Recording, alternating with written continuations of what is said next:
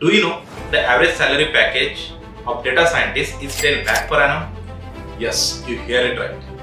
In India, one out of three working professional and one out of two college graduate wants to pursue their career in data science, but they don't know how to start and what is the right path of this career. Are you one of them? Don't worry, I am here to help you. Hello, my name is Pawan Khandare and I am Microsoft certified data scientist. I am coming with 10 days of free workshop on data science from 16th January to 25th January.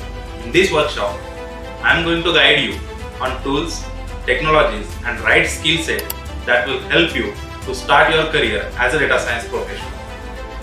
You will also receive workshop completion certificate that will help to enhance your resume selection chance in MNCs.